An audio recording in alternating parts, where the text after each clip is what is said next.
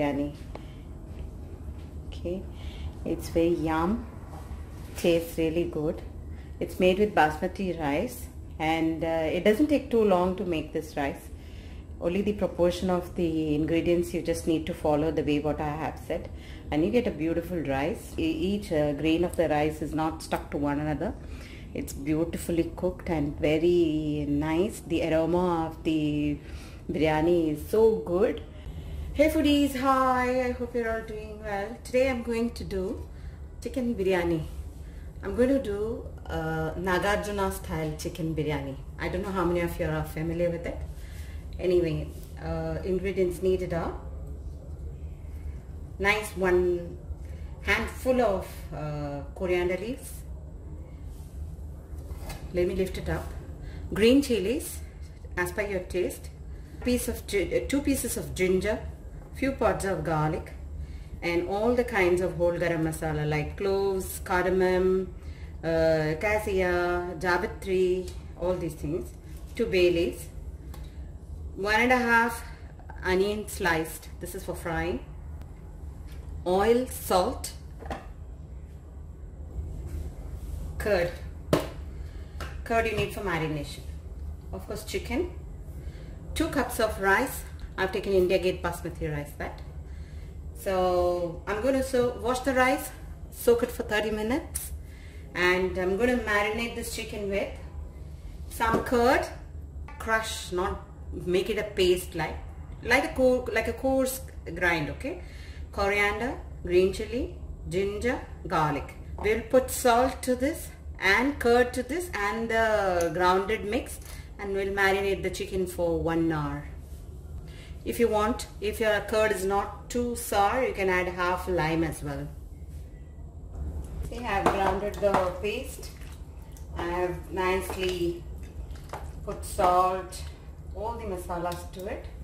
Let them rest it for some time. Right, I'll rest there. In the meanwhile, I'll slice the onions.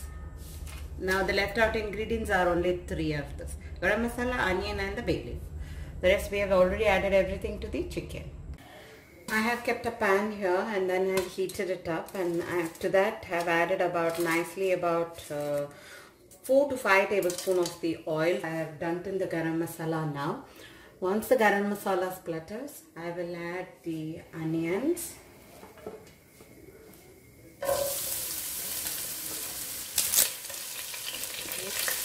a Little bit of salt caramelize a little bit. At this time now I'll add the marinated chicken to it.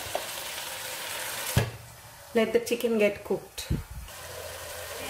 See this chicken nicely getting cooked. And it's getting roasted also in this masala well.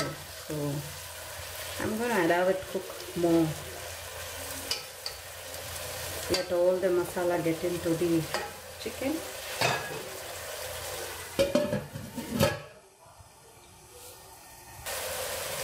I'm going to add the rice which I had soaked and kept.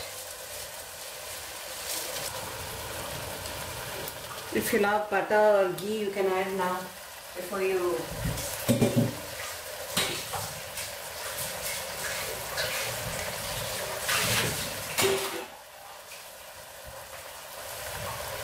If you like butter or ghee you can add now and then mix this rice very well. We are not going to cover the rice. I have to add salt now.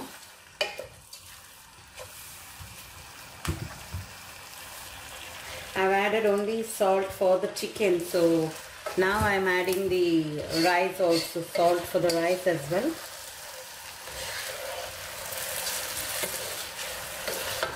I've added 2 cups of rice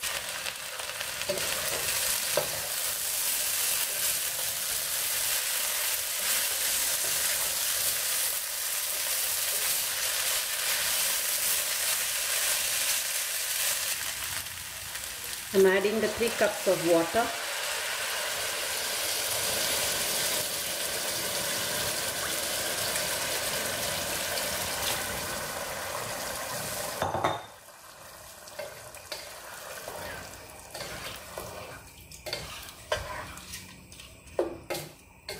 Check your salt, spice in case if you feel your chili is not spicy and the rice is not spicy. Now you can add slit chilies here. And um, if needed you can add even lime half squeezed here. Okay.